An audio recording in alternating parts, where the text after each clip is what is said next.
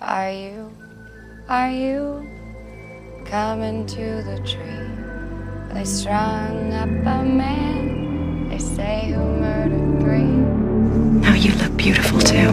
Wish I looked like you. Oh no. I wish I looked like you, little duck.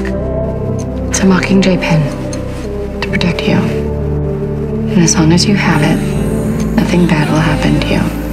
Now, the time has come for us to select one courageous young man and woman for the honor of representing District 12 in the 74th Annual Hunger Games. Primrose Everdeen. I volunteer as tribute.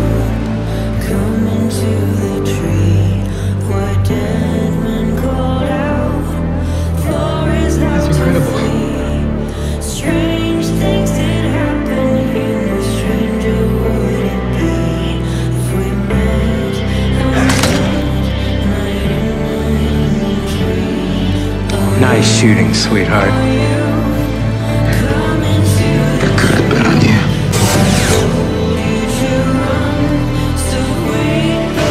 Hope. It is the only thing stronger than fear.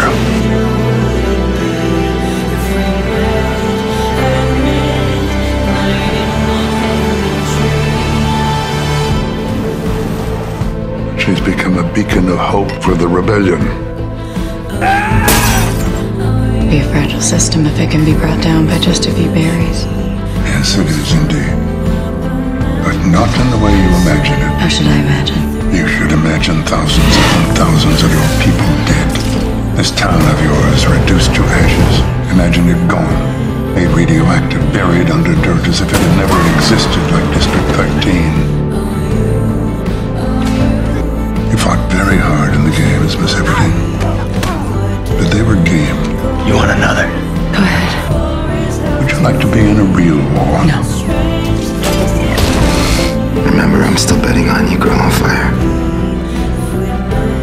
Let's start. I have a message for President Snow. You can torture us and bomb us and burn our district to the ground. But do you see that?